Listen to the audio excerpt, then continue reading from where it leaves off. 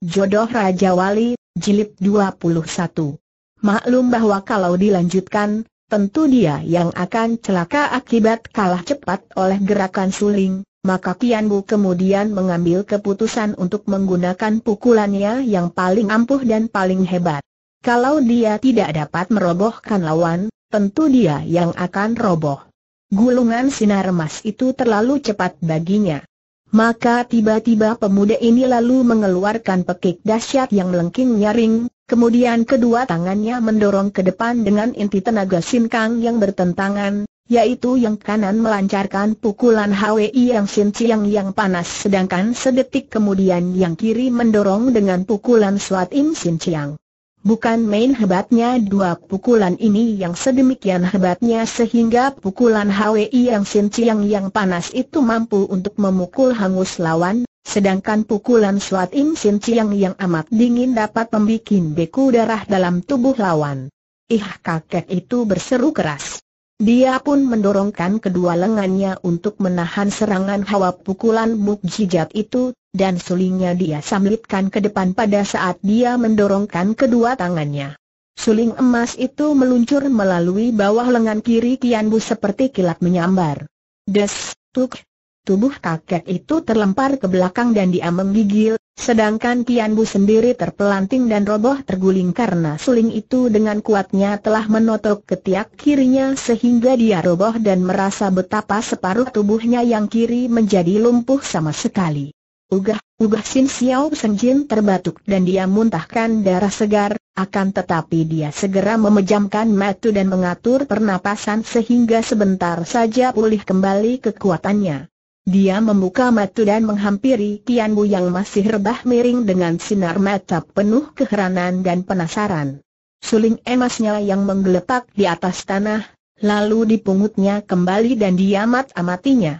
Saya, saya, mengaku kalah, akan tetapi, tunggu lima tahun lagi, saya pasti akan mencari Lo Po dan membuat perhitungan. Ah, Kian Bu mengeluh karena totokan itu hebat bukan main dan agaknya bukan hanya menghentikan jalan darahnya, melainkan merusak banyak jalan darah di tubuhnya yang sebelah kiri.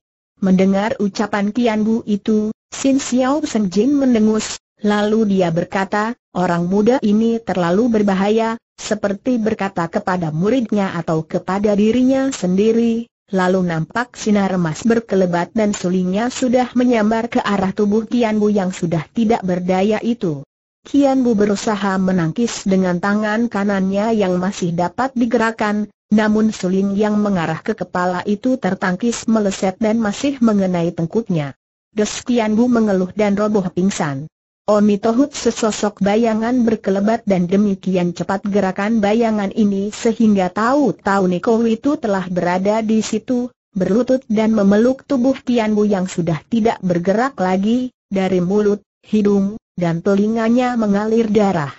Kakek itu dan muridnya terkejut, akan tetapi segera mengenal siapa adanya orang yang demikian cepat gerakannya itu.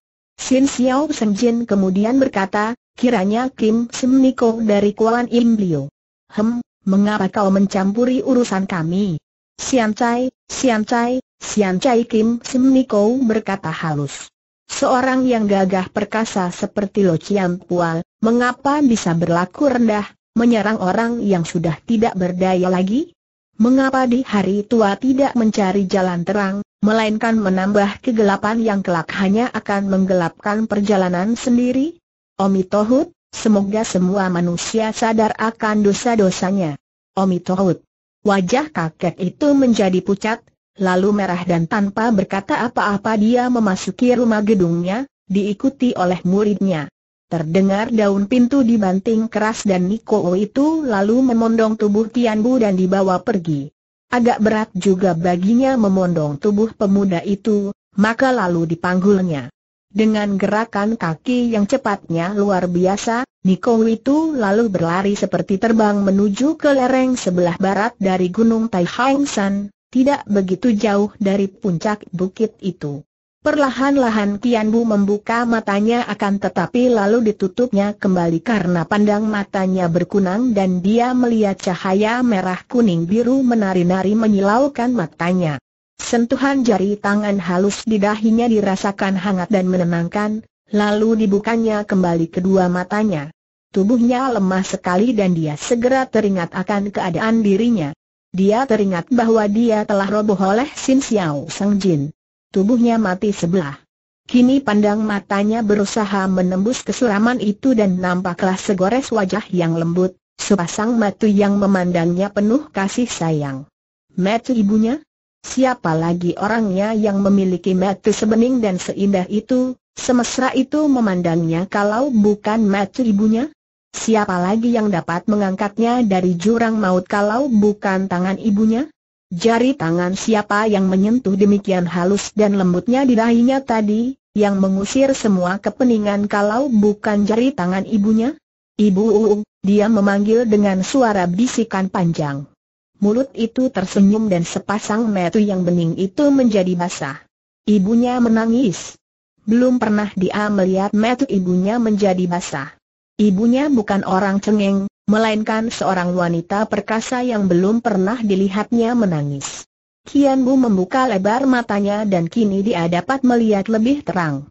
Kiranya bukan ibunya yang duduk di tepi pembaringannya, melainkan seorang Niko berkerudung kain kuning.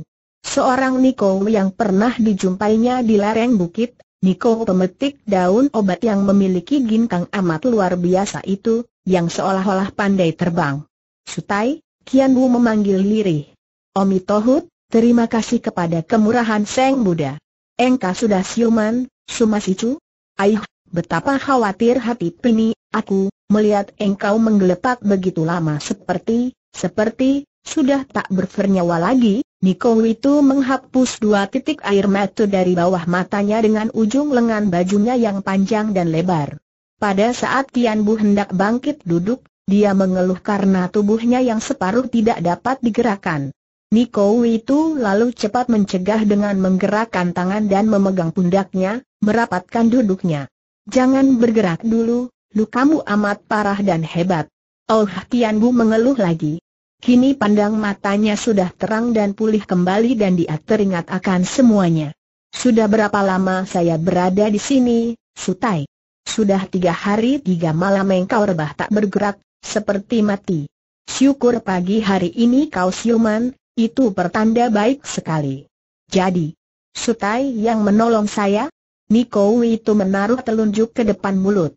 SSSTTT, janganlah banyak bicara dulu, anakku kau harus banyak beristirahat dan memulihkan kembali kesehatanmu. Jangan khawatir, selama berpuluh tahun ini tidak percuma Pini mempelajari ilmu pengobatan. Pukulan keji Sin Xiao Senjin tidak akan membunuhmu. Pini yang membawamu ke sini, anakku, dan sekarang beristirahatlah. Niko itu cepat mengambil sebuah mangkok dari meja dan membantu Kian Bu untuk bangkit duduk dengan merangkul pundak pemuda itu dan memberinya minum tajain dari mangkok itu sampai habis. Nah, kau tidurlah sekarang, aku akan mengumpulkan dan memasak obat untukmu, kata Niko itu setelah merebahkan kembali Kian Bu dan menyelimutinya. Kian Bu memaksa senyum dan memejamkan matanya, sebentar kemudian dia pun sudah tidur pulas. Beberapa hari kemudian, Kian Bu sudah sadar benar, namun tubuhnya masih setengah lumpuh. Meski dia sudah dapat bangkit duduk namun dia belum dapat turun dan belum dapat menggerakkan kaki dan tangan kirinya. Ketika pagi hari itu dia melihat Niko itu datang dan seperti biasa melayaninya untuk makan bubur, buang air dan sebagainya, Kian Bu tak dapat menahan rasa keharuan dan terima kasihnya. Ingin dia menjatuhkan diri berlutut di depan Niko itu, namun kaki kirinya tidak mengizinkannya. Melihat setiap hari Niko itu merawatnya, membuangkan air kencing dan kotorannya, membersihkan tubuhnya, menyuapkan makanan, memberi obat, sungguh tak ubahnya seperti seorang ibu sendiri. Dan Niko itu selalu menyebutnya anakku. Nah, sekarang bahaya telah lewat pada pagi hari itu Niko tua itu berkata dengan wajah berseri. Engkau sudah tidak terancam maut lagi dan kini tinggal memulihkan tenaga. Akan tetapi kaki tangan kiri saya belum dapat bergerak. Jangan khawatir. Memang pukulan-pukulan itu hebat sekali, dapat menghancurkan seluruh rangkaian urat-uratmu. Untung Suat Im Sin Kang di tubuhmu melindungimu, anakku. Pini yakin engkau akan sembuh kembali sama sekali. Betapa besar budi Sutai kepada saya, Kian Bu berkata dan matanya terasa panas karena dia merasa terharu sekali. Niko tua itu kini duduk di tepi pembaringan dan memegang lengannya. Sekarang engkau sudah tidak terancam bahaya. Bolehlah kita bicara. Sumakian Bu, katakanlah sejujurnya, siapa nama ayahmu? Ayah. Ayah bernama Sumahon, Han Han, ah, sudah kuduga, wajahmu, sikapmu, dan Suat Im Sin Chiang itu. Dugaanku tidak salah, ah, Han Han, dan Niko itu menghapus air matanya, mulutnya tersenyum ketika dia memandang pemuda itu melalui air matanya. Engkau putranya. Hem, sudah pengi duga dan engkau juga anakku, Sumakian Bu, engkau anakku. Apa maksudnya ini? Sutai Kian Bu bertanya penuh keheranan. Dia adalah anak Sumahon dan Putri Nirahai, mengapa Nikowi ini mengaku dia sebagai anaknya?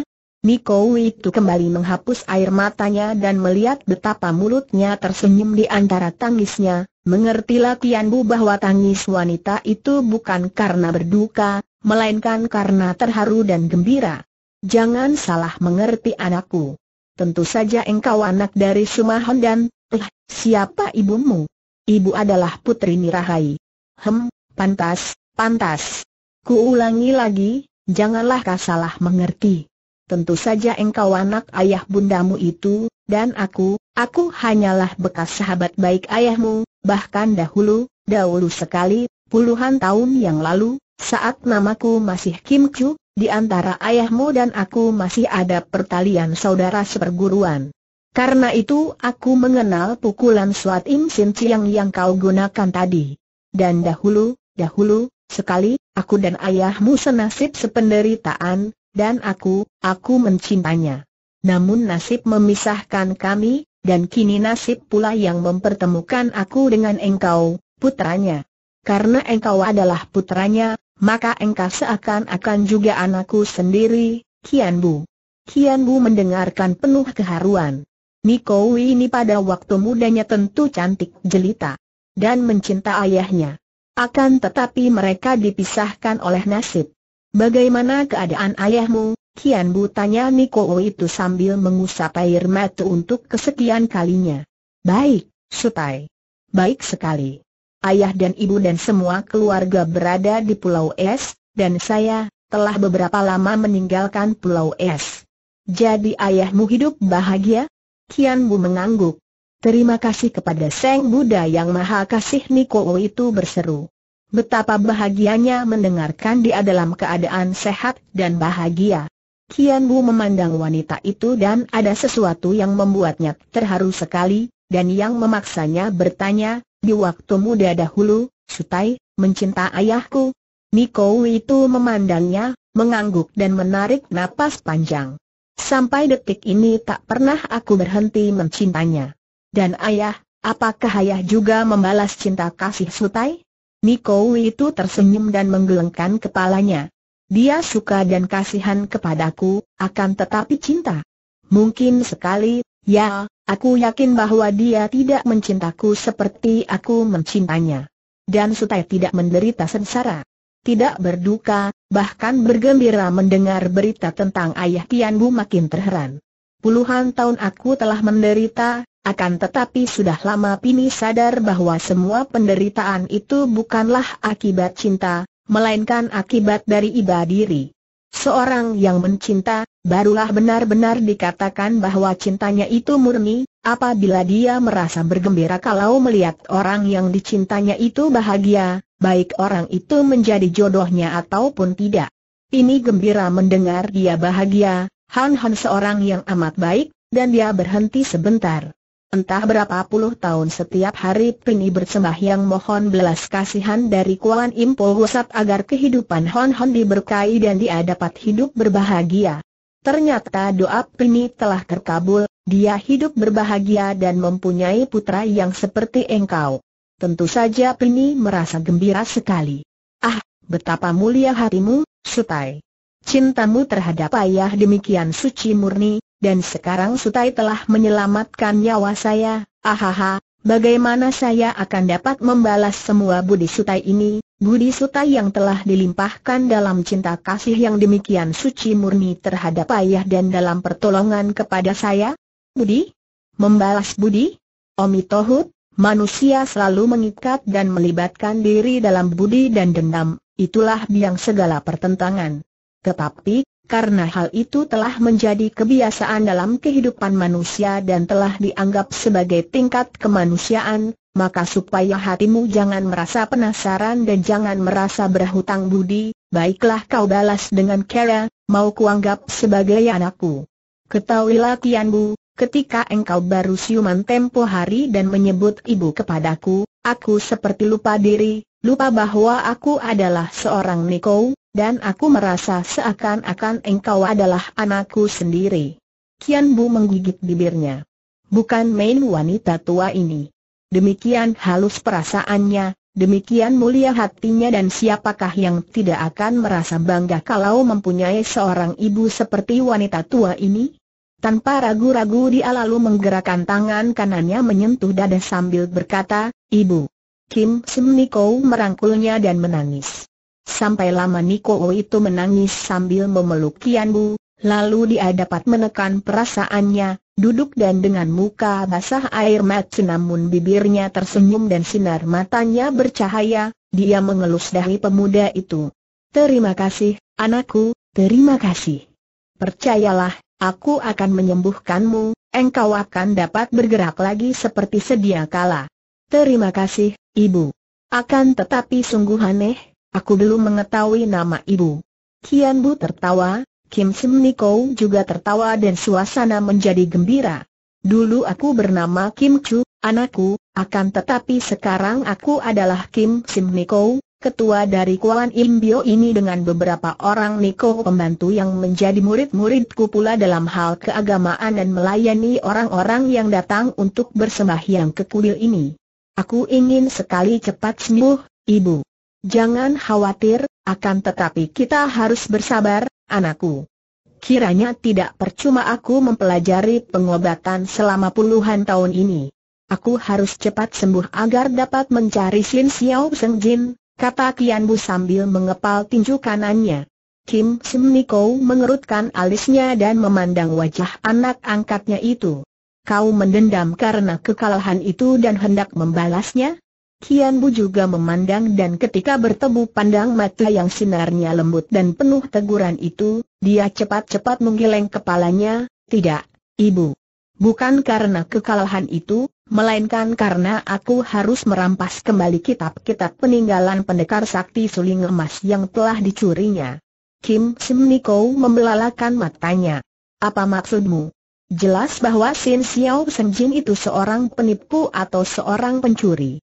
Dia dapat memainkan ilmu-ilmu dari suling emas, padahal sepanjang pengetahuanku, ilmu-ilmu itu terjatuh ke tangan ibu teriku yang berada di Pulau Es tentu dia telah mencurinya, atau mungkin juga dia memalsukan ilmu-ilmu itu. Maka, setelah sembuh aku harus menghadapinya lagi dan membongkar rahasia ini. Niko itu mengerutkan alisnya. Ahaha, dia amat lihai. Bahkan HWI yang Sin Chiang dan Suat Im Sin Chiang yang kau pergunakan pun tidak mampu mengalahkannya.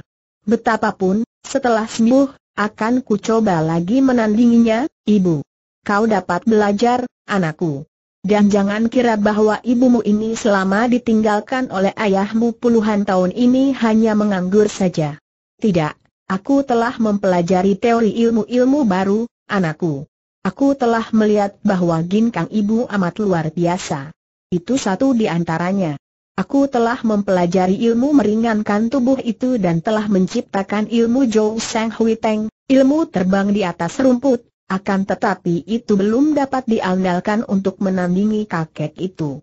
Dahulu aku bersama ayahmu pernah mempelajari ilmu Suat Im Sin Chiang dari Mabin Lomo, dan aku tahu bahwa ayahmu telah pula mempelajari ilmu HWI yang Sin Chiang yang menjadi lawannya. Biarpun aku bukan ahli HWI yang sinciang, namun aku tahu akan sifat-sifatnya dan aku telah mencoba untuk menggabungkan kedua sinkang yang berlawanan itu. Aku sendiri tidak berhasil melatihnya, tetapi menurut perhitunganku, maka baik HWI yang sinciang maupun Swat Im sinciang tidak akan mampu menandinginya.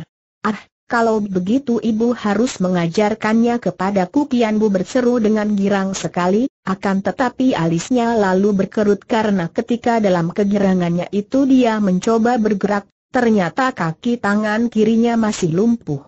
Ah, mana mungkin aku dapat belajar dalam keadaan begini? Kau harus bersabar, anakku. Keadaanmu memang parah dan kurasa dalam waktu setahun barulah boleh diharapkan engkau akan sembuh dan mempelajari Jong Sang Hui Teng bukanlah hal yang mudah, memerlukan waktu lama, latihan dan ketekunan. Apalagi melatih penggabungan kedua sinkang yang berlawanan itu.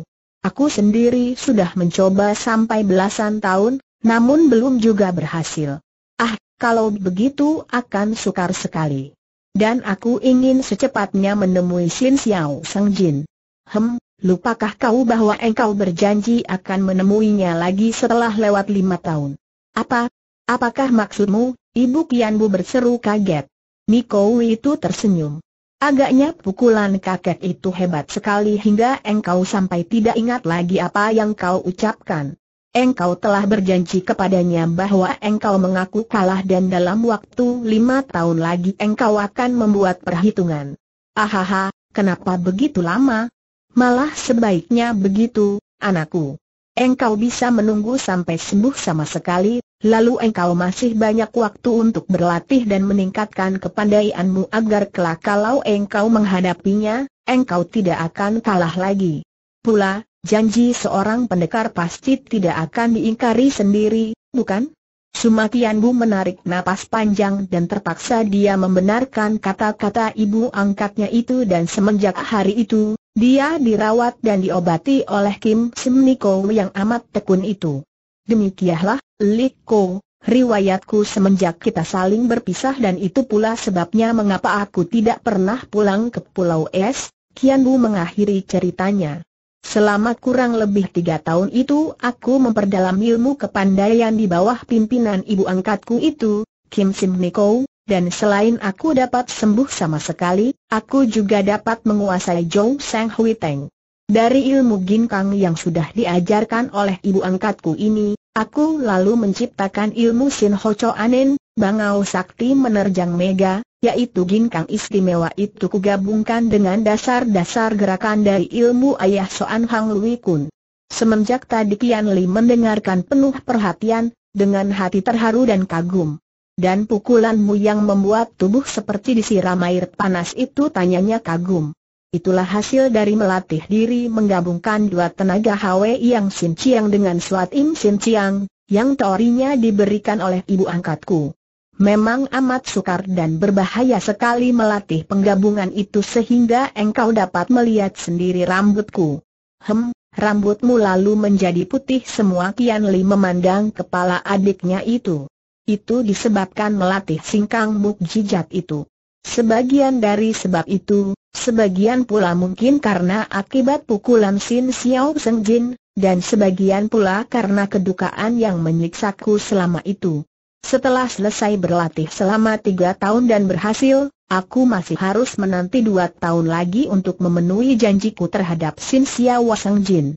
Maka dalam waktu dua tahun itu aku berusaha untuk menentang kejahatan di sekitar daerah Honan sehingga banyak orang Kengou mulai mengenalku dan memberi julukan siluman kecil kepadaku. Kian Li mengangguk-angguk. Sudah lama aku mendengar dan mengenal namamu itu, Bute. Semenjak aku mendengar nama itu memang aku sudah ingin sekali bertemu dengan orangnya, Sungguh pun aku sama sekali tidak menyangka bahwa engkaulah orangnya. Pertama-tama, aku ingin bertemu karena ketika aku terancam bahaya, orang-orang yang tunduk kepadamu lah yang menolongku, dipimpin oleh Nona Fang Chuilan. Dan kedua kalinya aku ingin sekali bertemu dengan siluman kecil untuk menegurnya. Kian Bu memandang kepada kakaknya dengan heran. Menegurnya?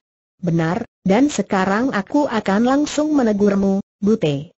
Aku mengenalmu sebagai seorang yang suka menggoda orang, terutama sekali kepada wanita. Akan tetapi apa yang kau lakukan terhadap Nona Cuilan sungguh keterlaluan. Eh haha, ada apa dengan dia Kianbu bertanya dengan mata terbelalak. Dia seorang gadis yang begitu baik, lemah lembut, halus budi pekertinya, hatinya penuh dengan cinta kasih yang murni terhadap dirimu, namun engkau melupakan dia begitu saja dan membiarkan dia merana. Bagaimana engkau dapat bersikap demikian kejam terhadap seorang gadis yang sebaik dia, Bute? Kian Li lalu menceritakan tentang pertemuannya dengan Cuilan di istana Gubernur Honan, kemudian tentang keberanian gadis itu ketika menolong Gubernur Hopei dan ketika mengerahkan teman-teman untuk menyelamatkannya, tentang pengakuan gadis itu kepadanya, akan cinta kasihnya terhadap siluman kecil yang dinyatakan dalam nyanyiannya yang penuh kerinduan. Mendengar semua penuturan Kian Li yang disertai teguran keras itu, Kian Bu lalu menundukkan mukanya dan berulang kali dia menarik napas panjang. Setelah Kian Li berhenti bercerita dan menegurnya, dia berkata, justru karena aku tahu bahwa dia mencintaku maka aku sengaja menjauhkan diriku, Koko. Aku sudah tahu dari semula ketika aku menolongnya bahwa gadis itu jatuh cinta kepadaku, maka aku sengaja menjauhkan diri bahkan bersikap tidak manis kepadanya dengan maksud agar dia membenciku karena hanya itulah yang kukira dapat mengobati cintanya yang hanya sepihak. Koko yang baik, salahkah aku kalau Cuilan jatuh cinta kepadaku? Salahkah aku kalau aku tidak dapat membalas cintanya? Salahkah aku kalau sampai saat ini pun aku masih mencinta Shanti Dewi dan tidak mungkin jatuh cinta kepada orang lain? Koko, apakah hanya untuk tidak merusak hati Cuilan aku harus pura-pura membalas cintanya dan bersikap palsu? Kian Li menjadi terharu dan memegang tangan adiknya yang wajahnya menjadi agak pucat. Dia menghela napas. Tentu saja tidak, adikku. Asal kau tidak mempermainkannya, dan mendengar ceritamu, agaknya memang engkau tidak pernah menggodanya dan bukan salahmu kalau dia mencintamu tanpa dapat kau balas karena engkau mencinta orang lain. Ayah, mengapa kita berdua menjadi korban cinta dan mengalami banyak kesengsaraan karena cinta? Sungguh kasihan sekali Nona Fang Cuilan, dan kasihan pula engkau, adikku. Liko, tidak perlu engkau mengasihani dia atau aku. Dan setelah aku bertemu dengan ibu angkatku, Kim Sim Niko, baru terbuka mataku bahwa memang selama ini kita berdua amat lemah, bahkan sampai saat ini pun aku masih melihat kelemahanku sendiri dalam persoalan cinta. Kita sebenarnya bukanlah mencinta orang lain, tetapi mencinta diri sendiri, Koko. Karena itulah maka kita menderita ketika orang yang kita cinta tidak membalas cinta kita, dan kita berduka karena kita kehilangan orang yang kita cinta. Cinta kasih seperti yang terdapat dalam hati ibu angkatku, itulah baru cinta kasih yang suci murni namanya, dan sungguh ayah kita berbahagia sekali dicinta oleh seorang seperti ibu angkatku itu. Memang luar biasa sekali Kim Sim Niko seperti yang kau ceritakan itu, adikku. Dan agaknya seperti dia pula lah Nona Fang Cuilan, dan mudah-mudahan dapat pula mengatasi tekanan batinnya karena cinta tidak terbalas seperti Niko itu. Dan aku girang mendengar bahwa engkau tidak menggodanya, Bute. Ahaha, aku bukan lagi adikmu yang suka menggoda orang seperti lima tahun yang lalu, Liko. Aku sudah cukup banyak menderita karena wanita, dan agaknya akan sukar bagiku untuk jatuh cinta lagi kepada wanita lain. Biarpun mulutnya berkata demikian, namun tanpa disadarinya sendiri, tahu-tahu wajah Wei Eli yang sangat cantik itu terbayang di depan matanya. Dia cepat melawan ini dengan kata-kata, dan aku akan mencontoh ibu angkatku, Aku akan berbahagia sekali kalau mendengar bahwa Shanti Dewi dapat hidup berbahagia di samping orang yang dicintanya, yaitu Ang Tek Hoat. Kasihan dia, mungkin dia belum tahu bahwa ibunya telah tewas oleh orang-orang Butan. Dia lalu menceritakan lagi tentang wanita gila, bekas pelayan dari Ang Siok Bi, ibu Ang Tek Hoat itu. Mendengar penuturan ini, Kian Li menarik napas panjang. Sungguh aku khawatir sekali bahwa kenyataannya tidak seperti yang kau harapkan itu, adikku. Apa maksudmu, Liko? Tentang kebahagiaan Shanti Dewi di samping Tek Hoat itu. Belum lama ini telah aku bertemu dengan Ang Tek Hoat, dan agaknya dia telah tersesat lagi. Dia membantu orang-orang jahat, bahkan dia tidak segan-segan untuk mengeroyok aku di tempat kediaman penjahat-penjahat. Kian Li lalu menceritakan semua pengalamannya, mengenai perjalanannya mencari adiknya itu, lalu pertemuannya dengan Jenderal Kao Liang dan dua orang putranya yang menyerangnya dan menuduhnya mencuri harta pusaka Jenderal Kao dan juga menculik keluarganya. Kemudian tentang pengalamannya ketika dia berada di istana Gubernur Honan, dan selanjutnya ketika dia mengawal Fang Chuilan dan Gubernur Hopei sampai pertemuannya dengan Tek Hoat dan dia dikeroyok dan dirobohkan. Mendengar cerita kakaknya itu, bermacam perasaan mengaduk di hati Kian Bu. Dia terharu sekali mendengar akan sepak terjang Fang Chuilan yang patut dipuji, dan dia marah dan khawatir mendengar betapa Ang Tek Hoat membantu Hek Eng Pangcu, dan betapa Tek Hoat telah menjatuhkan fitnah kepada dirinya yang dikatakan merampas harta benda keluarga Liang. Akan tetapi kekhawatirannya lebih besar daripada kemarahannya terhadap Tek Hoat, yaitu khawatir tentang diri Shanti Dewi. Apakah yang telah terjadi dengan Shanti Dewi katanya dengan alis berkerut. Andai kata Shanti Dewi berada di sisi Ang Tek Hoat, tidak mungkin orang itu melakukan penyelewengan. Kalau Tek Hoat sudah kumat lagi gilanya, hal itu tentu berarti bahwa Shanti Dewi tidak lagi berada di dekatnya. Tentu telah terjadi sesuatu dia mengepal tinju dan kelihatan gelisah. Dan aku sendiri yang akan menghajar Tek Hoat kalau dia menghancurkan kehidupan Shanti Dewi. Tenanglah, Bute. Dalam keadaan seperti kita sekarang ini yang belum tahu semua persoalannya, tidak baik untuk mengambil kesimpulan-kesimpulan dan dugaan-dugaan, apalagi mengandung kemarahan di dalam hati terhadap seseorang. Bahkan aku sendiri yang sudah dia jatuhkan dalam pengeroyokan, aku masih ingin tahu mengapa dia melakukan hal itu, karena aku yakin bahwa tentu ada sesuatu yang mendorongnya berbuat demikian. Hem, aku sudah tahu bahwa dia jahat, Koko. Tetapi, Kian Bu tidak melanjutkan kata-katanya karena dia maklum bahwa Tek Hoat adalah keponakan kakaknya ini, keponakan langsung dari ibunya, karena Tek Hoat adalah cucu kandung dari ibu Kian Li. Karena teringat akan hal ini maka dia diam saja. Mereka kemudian saling menceritakan pengalaman masing-masing selanjutnya. Kian Bu bercerita tentang pembalasannya yang berhasil terhadap Sin Xiao Seng Jin, dan tentang pusaka-pusaka suling emas yang agaknya sebagian telah sempat dicuri oleh Ang Xioccia dan menurut tantangan gadis itu, dia akan menanti di pantai Toh Ai di teluk sebelah utara. Hem, banyak persoalan yang harus kita hadapi, adikku. Urusan Jenderal Kaol yang masih belum beres, muncul pula urusan warisan suling emas yang juga harus kita jernihkan. Akan tetapi engkau belum sehat benar, Liko.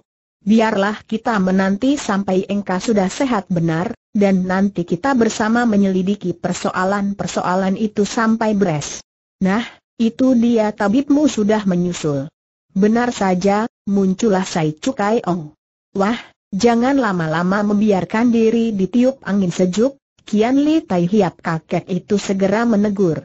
Mari kita pulang dan sudah waktunya Tai Hiap minum obat. Kemudian dia berkata kepada Kian Bu, dan aku membutuhkan beberapa macam ramuan obat yang telah habis dan obat-obat itu hanya bisa dibeli di kota besar. Maka, ku harap engkau suka menemani Xiao Hang untuk mencari dan membelikan ramuan obat untuk kakakmu itu, Kian Bu Tai Hiap. Tentu saja saya akan suka sekali pergi, Lo Chiam Pul. Akan tetapi, Lo Chiam Pul, kami dua kakak beradik yang sudah menerima banyak budi Lo Chiam Pul, menganggap Lo Chiampu sebagai paman sendiri, maka harap buang saja sebutan Tai Hiap kepada kami, kata Kian Bu. Benar apa yang dikatakan adikku, Lo Chiampu, sambung Kian Li. Ha, kalau begitu kalian harus membuang sebutan Lo Chiampu dan sebut saja paman kepadaku, Mereka bertiga tertawa dan Kian Li lalu dipondong lagi oleh adiknya, kembali ke tempat tinggal kakek itu yang seperti istana kuno dikelilingi tembok tebal seperti benteng. Ketika tiba di pintu gerbang dan melihat kedua orang kakak beradik itu memandang kagum, Syai Cukai Ong berkata, biarlah kelak kalau Kian Li telah sembuh, kalian akan kubawa berkeliling dan melihat-lihat rumah peninggalan nenek moyangku ini.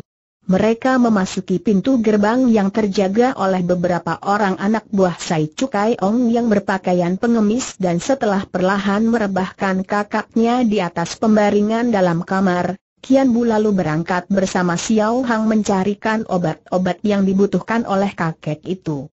Sudah terlalu lama kita meninggalkan Putri Shanti Dewi yang bernasib malang itu. Kita melihat dia yang terakhir berada di dalam gedung dari HWAI Kong Chu Teng Hun, majikan Liong Simpang di puncak naga api di pegunungan Luliang San dekat belokan sungai Wang Ho. Seperti telah diceritakan di bagian depan, Teng Hun sastrawan yang juga ahli silat dan sihir murid Durganini ini tergila-gila kepada Shanti Dewi dan memaksa putri itu untuk menikah dengan dia. Akan tetapi di tengah-tengah keramaian pesta pernikahan itu, secara aneh sekali Shanti Dewi telah hilang tanpa diketahui jejaknya. Bahkan Siang In, darah jelita yang gagah perkasa dan pandai ilmu sihir yang berusaha menolong dan membebaskan Shanti Dewi, juga tidak tahu ke mana perginya putri itu. Bukan dia saja, malah Angtek Hoat, yang dengan bantuan anak buah Hek Eng Pang berusaha membebaskan Shanti Dewi, juga hanya dapat membebaskan Shanti Dewi palsu, sedangkan dia pun tidak tahu ke mana lenyapnya Shanti Dewi yang asli. Kemanakan perginya Shanti Dewi? Dan bagaimana caranya dia dapat lenyap dari penjagaan yang amat ketat itu, bahkan lenyap dari pengejaran seorang darah perkasa seperti Siang In, dan dari pencarian seorang sakti seperti Ang Tek Hoat yang masih dibantu oleh banyak anak buah Hei Eng Pang? Mari kita ikuti pengalaman Shanti Dewi semenjak dia berada di dalam kamar sebagai calon pengantin itu. Seperti kita ketahui, Shanti Dewi merasa gembira dan lega ketika bertemu dengan Siang In yang mengunjunginya di dalam kamarnya. Kalau dalam beberapa hari itu dia selalu termenung berduka, tidak mau mandi, tidak mau makan, tidak mau berganti pakaian, setelah Siang Ing mengunjunginya dan tahu bahwa gadis yang luar biasa itu akan menolong dan membebaskannya, kegembiraan membuat dia seketika merasa lapar sekali dan dia segera memesan makan minum kepada pelayan-pelayannya sehingga para pelayan itu menjadi heran dan juga girang sekali. Dari dapur yang khusus didatangkan hidangan-hidangan, diantar oleh seorang koki tua agak gemuk yang berwajah riang dan dibantu oleh para pelayan yang menghidangkan masakan-masakan istimewa di atas meja dalam kamar Seng Putri atau calon pengantin wanita itu. Shanti Dewi yang memang sudah lapar itu cepat makan dan minum, akan tetapi terkejutlah dia ketika tiba-tiba dia mendengar suara berbisik di telinganya, perut kosong jangan terlalu cepat diisi, dan jangan terlalu banyak.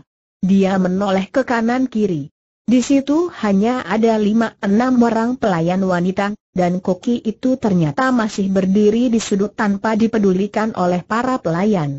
Pada saat dia bertemu pandang dengan kakek yang berpakaian koki itu, secara mendadak kakek itu mengedipkan sebelah matanya. Shanti Dewi terkejut dan dia seperti sudah mengenal wajah koki itu. Tahulah dia bahwa suara bisikan yang didengarnya tadi, tentu adalah suara koki itu yang entah bagaimana dapat menjadi bisikan di dekat telinganya tanpa didengar oleh para pelayan agaknya. Tetapi sebagai seorang yang sudah banyak bergaul dengan orang-orang yang memiliki kesaktian hebat, seperti pendekar sakti Gak Bun Beng, bekas tunangannya Ang Tek Hoat, Putri Sakti Milana, dan banyak lagi orang dari golongan hitam yang berilmu tinggi, Shanti Dewi tidak lagi merasa heran dan taulah dia bahwa Koki itu adalah seorang yang berilmu tinggi. Harapkah suruh mereka itu keluar, kecuali pelayan yang berbaju biru itu, kembali terdengar bisikan tadi. Shanti Dewi tentu saja tidak mempercayai suara itu begitu saja, biarpun dia seperti pernah mengenal wajah Koki itu, akan tetapi anehnya, ada pengaruh mukjizat yang membuat dia tidak dapat menolak lagi. seperti di luar kehendaknya sendiri, dia lalu berkata, kalian semua keluarlah, kecuali engkau yang baju biru. Aku tidak suka makan ditunggui banyak orang. Para pelayan itu tersenyum dan mereka pun lalu pergi meninggalkan kamar itu, tanpa mempedulikan koki tua yang masih berdiri seperti arca di sudut kamar. Kau tutupkan daun pintunya, kunci dari dalam, kembali Shanti Dewi berkata kepada pelayan baju biru seperti bukan atas kehendaknya sendiri. Pelayan baju biru yang cantik itu mengangguk, lalu menutupkan daun pintu dan menguncinya, kemudian dia kembali duduk di dekat Seng Putri untuk melayaninya. Kini kakek yang berpakaian koki itu melangkah maju mendekati meja, dipandang penuh perhatian dan dengan hati mulai curiga oleh Shanti Dewi. Agaknya baru sekarang pelayan baju biru itu melihat kakek ini. Dia terkejut dan heran. Ih, kau masih di sini? Tidak boleh, hayo cepat keluar. Akan tetapi tiba-tiba tangan kakek itu bergerak ketika melihat kenyataan pelayan itu lari ke pintu, dan tahu-tahu dia telah menjambak rambut pelayan itu, diseretnya mendekati meja di mana Shanti Dewi masih bengong, lalu terdengar kakek itu berkata lirih namun dengan nada penuh ancaman, jangan berteriak, jangan banyak ribut, kalau tidak akan kuhancurkan kepalamu kau diam dan menurut saja kalau ingin selamat. Tiba-tiba sebuah totokan di tengkuk pelayan tua membuatnya lemas dan tidak dapat bergerak lagi, hanya matanya saja yang terbelalak memandang dengan penuh rasa takut. Dicobanya untuk mengeluarkan suara, akan tetapi sekali tekan pada leher wanita itu oleh jari tangan kakek aneh tadi, si pelayan tidak dapat mengeluarkan suaranya sama sekali seperti orang gagu. Hem, apa artinya ini? Siapa engkau Shanti Dewi bangkit berdiri dan memandang tajam. Hihihi, kau lupa lagi kepadaku, putri kakek itu melepaskan penutup kepalanya seperti yang biasa dipakai oleh koki untuk mencegah rambut kepalanya rontok dan masuk ke dalam masakan. Kini kelihatan kepalanya yang botak dan sedikit rambutnya yang putih. Biarpun sudah lima tahun tidak berjumpa lagi dengan kakek ini dan biarpun kakek ini sekarang agak gendut perutnya, tapi melihat wajah yang tersenyum-senyum itu teringatlah Shanti Dewi. Ah, bukankah Lo Chiampo ini guru Siangen? Lo Chiampo si Tian Hoatsu tanyanya dengan heran. Hahaha, ternyata ingatanmu kuat sekali, putri. Benar, Xiangin adalah muridku. Hati Shanti Dewi girang sekali. Beberapa tahun yang lalu ketika dia dikejar-kejar oleh Raja Tambolon dan anak buahnya, dia pernah ditolong dan diselamatkan oleh kakek yang pandai ilmu sihir ini dan dari percakapannya dengan Siang In dia tahu bahwa kakek ini adalah guru Siang In. Maka tentu saja dia menjadi girang dan kini menaruh kepercayaan kepada kakek ini. Lo Chiam Pual, baru saja Siang In juga datang dan berjanji hendak membawaku keluar dari sini. Itulah sebabnya mengapa aku datang sendiri, Putri Shanti Dewi. Keadaan di sini amat berbahaya dan terlalu banyak orang pandai menghendaki dirimu. Rencana Siang In tentu akan gagal kalau aku tidak cepat turun tangan. Sekarang kau diamlah saja dan menurut segala petunjukku. Shanti Dewi tidak terkejut mendengar itu sebab dia maklum bahwa dia berada di tempat berbahaya, maka dia lalu mengangguk cepat kau tanggalkan pakaian luarmu, bisik kakek itu, dan ketika Shanti Dewi melihat kakek itu mulai menanggalkan pakaian luar pelayan yang ditotoknya itu, mengertilah dia maksudnya dan tanpa ragu-ragu lagi dia membalikan tubuhnya dan menanggalkan pakaian luarnya. Dia tidak perlu merasa malu dalam keadaan seperti itu, apalagi yang melihat dia dalam pakaian dalam yang tipis itu hanya seorang kakek sakti yang sudah amat dipercaya. Air, sukarnya kakek itu mengomel ketika dia mencoba untuk mengenakan pakaian luar Shanti Dewi pada pelayan itu sehingga Shanti Dewi yang cepat sudah mengenakan pakaian luar pelayan itu segera membantunya. Kakek itu memang cerdik. Yang tadi dipilihnya adalah seorang pelayan yang selain cantik juga memiliki bentuk tubuh yang hampir sama dengan bentuk tubuh Shanti Dewi sehingga ketika pakaian mereka saling ditukar, dapat pas sekali. Setelah selesai, kakek itu lalu berbisik, cepat kau atur rambutnya seperti sanggul rambutmu dan tambah bedak di mukanya biar wajahnya seputih wajahmu. Shanti Dewi cepat melakukan semua perintah itu, kemudian si Tian Hoatsu sendiri menggunakan alat penghias yang terdapat di dalam kamar itu untuk mengubah bentuk bibir, alis serta metu Shanti Dewi dengan menggunakan pemerah bibir dan penghitam. Sebentar saja, Ketika dia selesai dan Shanti Dewi melihat bayangannya sendiri dalam cermin, puteri ini hampir tertawa geli melihat betapa dia sudah berubah menjadi seorang wanita yang bermata sipit, alisnya tebal dan mulutnya lebar, mukanya ada beberapa totol hitam yang melenyapkan semua kemanisannya.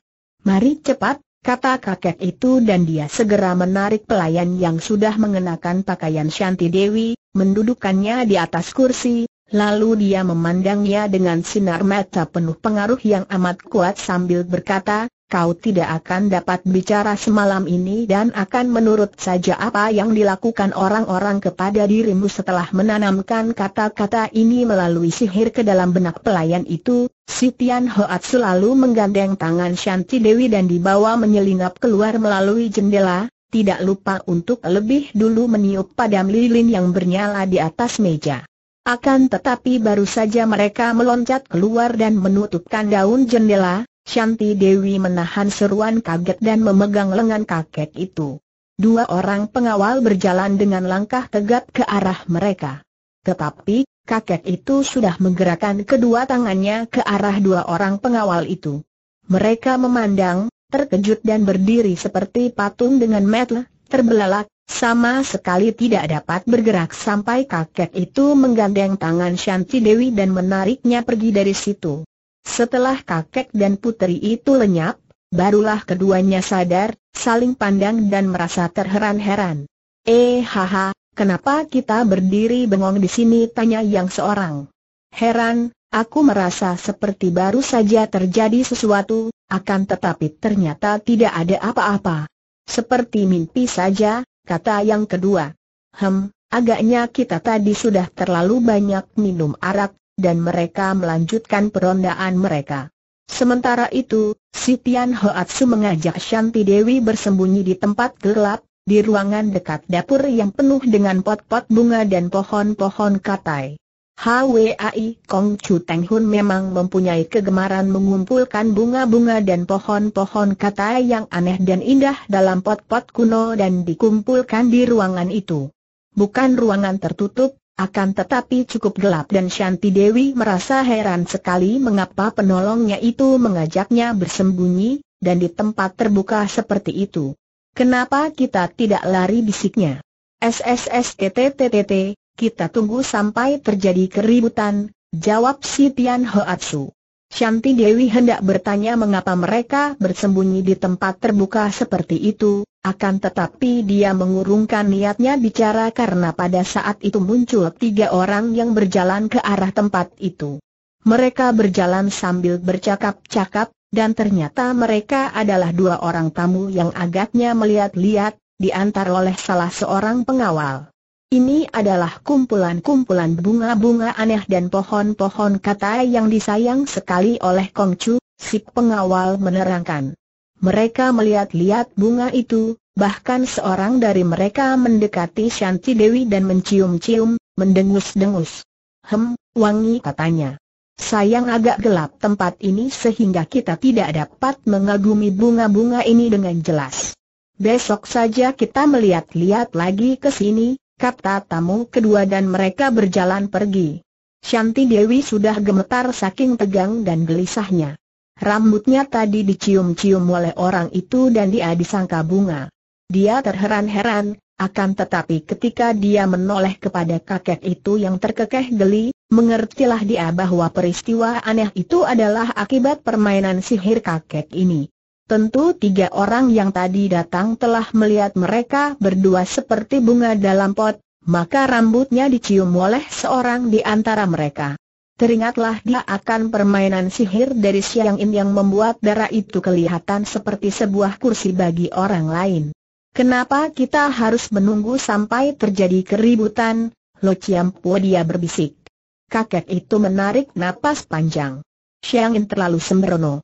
dia tidak melihat bahwa di sini hadir orang dari Nepal yang memiliki kekuatan sihir lebih hebat daripada dia. Kalau kita lari sekarang dan ketahuan, banyak bahayanya akan gagal karena di depan orang itu tentu saja tidak mungkin mengandalkan kekuatan sihir. Saat yang dinanti-nanti oleh kakek si Tian Hoatsu itu ternyata tidak lama. Tiba-tiba terdengarlah canang dipukul bertalu-talu tanda bahaya dan disusul teriakan-teriakan nyaring. Dari tempat sembunyi itu, mereka melihat berkelebatnya banyak wanita-wanita pelayan dan melihat pula seorang pelayan wanita tua yang cantik memondong Shanti Dewi palsu tadi dengan gerakan ringan sekali. Lalu terdengar keributan di ruangan pesta, disusul padamnya lampu-lampu dan ributnya suara orang bertempur. Sekarang kakek itu berbisik dan dia menggandeng tangan Shanti Dewi, diajaknya melarikan diri melalui jalan belakang. Hei, siapa akan tetapi dua orang itu sudah jatuh terjungkal oleh kakek Sitian Hoatsu sebelum dua orang pengawal itu dapat melihat jelas. Dengan cepat Sitian Hoatsu lalu memondong tubuh Shanti Dewi dan dibawanya melompati pagar tembok di taman belakang tanpa banyak halangan karena semua orang sedang sibuk berkelahi dan mengejar-ngejar penculik Shanti Dewi palsu, Sitian Hoatsu dapat membawa pergi putri itu dari puncak Bukit Naga Api. Setelah pergi jauh, Shanti Dewi berkata, Lo Chiam Pual, bagaimana dengan Siangen? Kenapa kita tidak menanti dia? Kakek itu menurunkan tubuh putri Butan dan menyeka peluhnya, lalu memandang ke angkasa yang indah penuh bintang. Ah, dia kini bukan anak kecil lagi, tentu dapat menjaga diri sendiri. Akan tetapi, tentu dia akan mencari-cari Lo Pue dan saya. Dia tidak tahu bahwa aku berada di sini, dan biarlah dia mencarimu untuk meluaskan pengalamannya, hahaha kakek yang aneh itu tertawa. Shanti Dewi tak membantah lagi kakek ini mempunyai watak yang luar biasa anehnya dan dia tahu bahwa memang orang-orang sakti di dunia Kang Ou ini mempunyai watak yang kadang-kadang mendekati watak orang gila. Lalu, lalu kita akan pergi ke mana? Lo Ciampu tanyanya penuh keraguan. Ke tempatku di pantai Pohdai. Akhirnya Siang In tentu akan ke sana pula kalau dia tidak berhasil mencarimu. Dan kulihat engkau diperebutkan banyak orang, puteri, maka untuk sementara waktu ini, kiranya akan lebih aman kalau kau berada di sana bersamaku. Shanti Dewi tidak membantah lagi. Dia meninggalkan Butan bersama Siang In, dan biarpun dia berniat mencari Tek Hoat, namun mencari seorang diri saja mana mungkin berhasil? Di bagian dunia ini banyak sekali terdapat orang-orang jahat yang amat liai, dan tanpa seorang teman seperjalanan yang sakti seperti Siang In, dia merasa ngeri dan tidak sanggup untuk mencari Tek Hoat sendirian saja. Pula, kini dia ikut bersama guru dari Siang In, berarti dia berada di tangan yang aman dan tentu banyak harapan akan berjumpa kembali dengan gadis ahli sihir itu. Seperti telah diceritakan di bagian depan, Peristiwa penculikan atas diri Shanti Dewi dari gedung HWAI Kong Chu Teng Hun itu menimbulkan kegegeran hebat. Rombongan Hek Eng Pang yang dipimpin oleh Yang Liu Nio sendiri berhasil menculik Shanti Dewi tanpa mereka sadari bahwa yang mereka culik adalah yang palsu. Mereka telah mengorbankan banyak anak buah dan Shanti Dewi telah diserahkan kepada Ang Tek Hoat yang melarikannya, akan tetapi kemudian ternyata Shanti Dewi itu hanyalah seorang pelayan.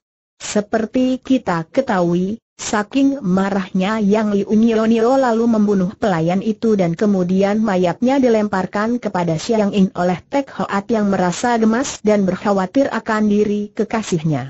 Xiang Nin sendiri juga terkejut ketika melihat mayat yang disangkanya putri Butan itu ternyata hanya seorang pelayan. Tahulah, dia bahwa Shanti Dewi telah lenyap tanpa dia ketahui siapa penculiknya. Jelas bukan Tek Hoat, bukan pula salah satu wanita dari rombongan Hek Eng Pang, namun jelas sudah lenyap dari rumah HWAI Kong Chu. Habis, siapakah yang telah menculiknya? Dia merasa penasaran sekali dan mulai melakukan pengejaran dan penyelidikan.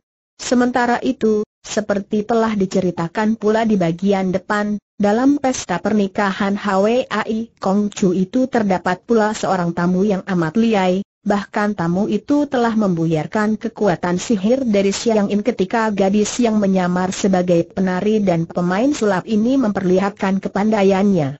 Orang itu adalah Gitananda, kakek tokoh Nepal yang tinggi besar, bersorban dan jenggotnya panjang sampai ke perut itu. Seperti kita ketahui, Gitananda juga mencoba untuk menahan diri Yang Li yang dianggapnya telah menculik pengantin perempuan, akan tetapi Yang Li yang dibantu banyak anak buahnya itu dapat meloloskan diri dan Gitananda tidak berani melakukan pengejaran dalam gelap karena dia tahu bahwa hal itu amat berbahaya, mengingat bahwa rombongan penculik itu terdiri dari orang-orang pandai. Gitananda adalah seorang di antara pembantu-pembantu Ban Hwe Aseng Jin, Koksu dari Nepal yang mengemban tugas untuk menghubungi pembesar-pembesar yang condong untuk menentang kekuasaan Kaisar. Koksu Nepal yang cerdik itu maklum bahwa untuk memperkuat kedudukannya, dia harus menghubungi tokoh-tokoh Kang Ou di dunia timur ini, dan sedapat mungkin berbaik dengan tokoh-tokoh dari golongan hitam. Oleh karena itulah, maka dia menyebar para pembantunya, dan ketika mendengar akan pernikahan di puncak naga api, yaitu pernikahan dari HWAI Kong Chu Teng Hun yang didengarnya sebagai ketua Liong Simpang, seorang pemuda yang selain kaya raya, juga amat liai, bahkan akhir-akhir ini kabarnya menjadi murid Durgan ini, Tentu saja dia tidak mau melewatkan kesempatan baik itu dan mengutus Gitananda mewakilinya dan menghadiri pesta itu.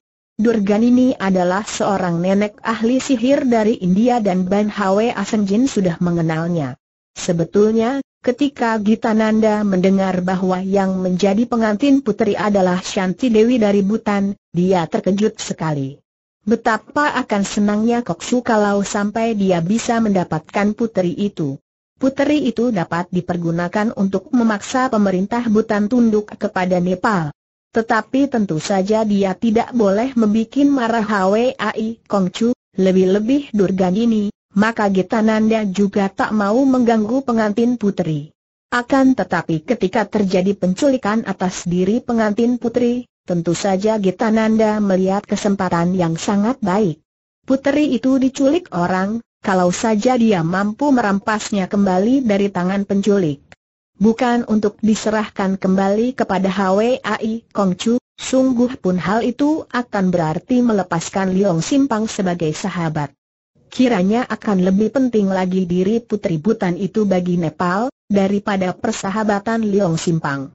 Pula, kalau dia bisa mendapatkan putri itu di luar Tau Leong Simpang, bukankah tetap akan menjadi sahabat untuk dapat bekerja sama sewaktu-waktu jika keadaan membutuhkan karena HWAI Kong Chu sudah melihat sendiri betapa dia telah membantu untuk melawan para penculik, biarpun tidak berhasil. Dia harus dapat mengejar penculik dan merampas kembali Putri Butan, tentu saja tanpa diketahui oleh HWAI Kong Chu.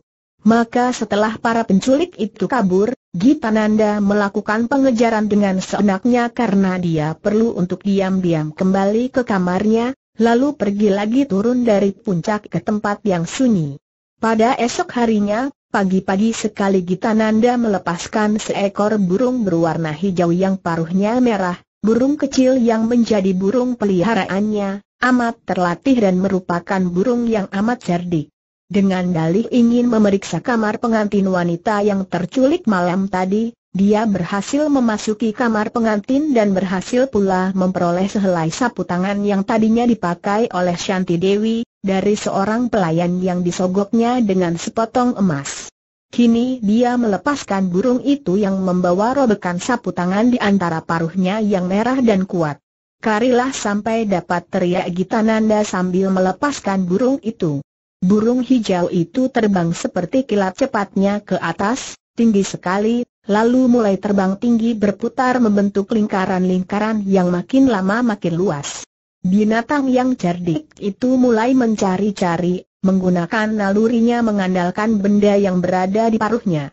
Sepasang matanya yang kecil melirik-lirik ke bawah, tajam sekali. Gita Nanda menanti sampai hampir menjelang tengah hari. Tiba-tiba dia bangkit dari duduknya di atas rumput ketika dia melihat sinar hijau melayang telah kembali. Benar saja, burung hijau itu terbang sampai tiba di atas tempatnya berdiri, lalu melepaskan robekan sapu tangan dan mengeluarkan suara mencicit. Burung yang baik, kau telah menemukan dia?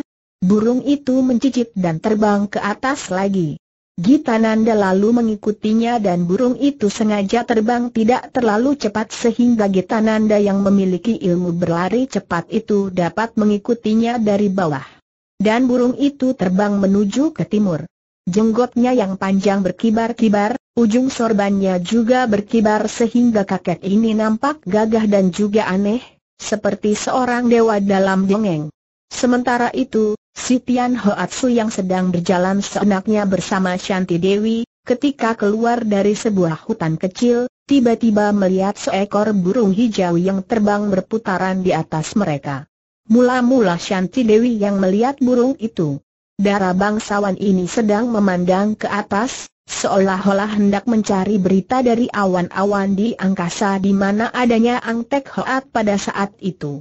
Eh, Burung apakah itu demikian aneh katanya sambil menuding ke atas.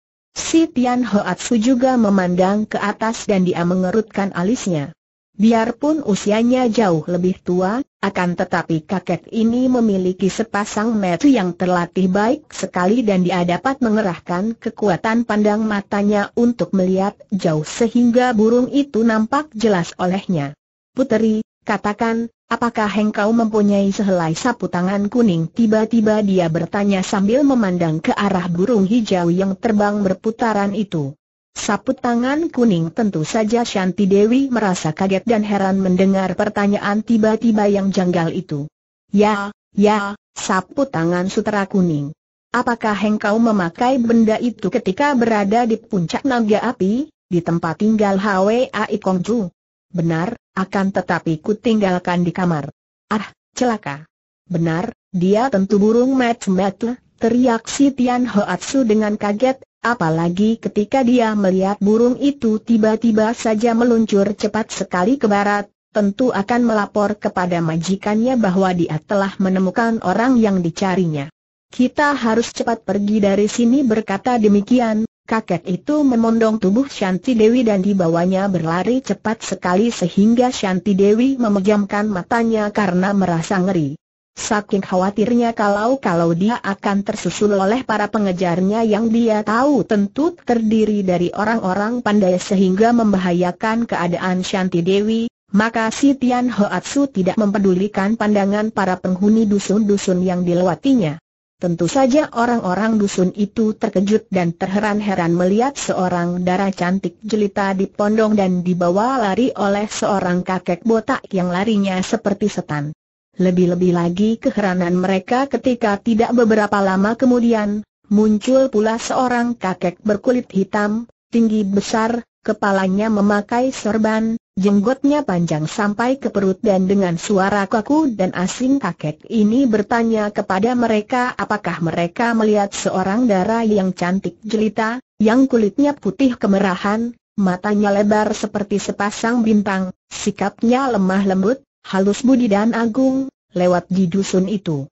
Ah, kami melihat seorang darah cantik jelita, akan tetapi dia dipondong dan dibawa lari seorang kakek botak. Yaa, itulah dia. Ke mana mereka pergi Gitananda bertanya dengan girang karena dia tidak merasa ragu lagi bahwa itulah darah yang dicarinya dan benar saja, agaknya Seng Putri Butan itu dilarikan seorang penculik. Kini para penghuni dusun merasa ragu-ragu karena mereka kurang percaya kepada orang asing bersorban yang bicaranya kaku ini, akan tetapi Gitananda cepat berkata, agaknya kalian belum tahu kakek botak itu adalah seorang penjahat besar, seorang penculik. Dan darah yang diculik itu adalah seorang putri.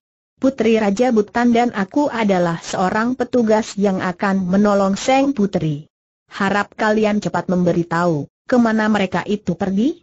Tentu saja para penghuni dusun merasa kasihan sekali kepada Seng Putri dan berpihak kepada orang asing ini yang hendak menolong Seng Putri yang terculik penjahat, maka berebutlah mereka memberitahu ke mana arah larinya kakek botak yang memondong dan menculik Seng Putri. Setelah mendengar bahwa kakek botak itu melarikan Seng Putri menuju ke timur, Gitananda cepat melakukan pengejaran bersama burung hijaunya. Maka ramailah para penghuni dusun itu membicarakan peristiwa yang aneh itu sehingga cerita tentang kakek botak yang seperti iblis menculik putri butan lalu dikejar oleh kakek seperti dewa hitam tersiar luas di dusun itu dan bahkan keluar sampai ke dusun-dusun lain. Sementara itu, Sitian Hoatsu yang memondong tubuh Shanti Dewi melakukan perjalanan cepat sekali menuju ke timur dan akhirnya, Beberapa hari kemudian setelah melakukan perjalanan yang hampir tidak pernah ditundanya kecuali kalau malam gelap sekali dan untuk makan, tibalah kakek ini bersama Shanti Dewi di Goa Tengkorak tempat pertapaan Sitian Hoatsu selama bertahun-tahun ini.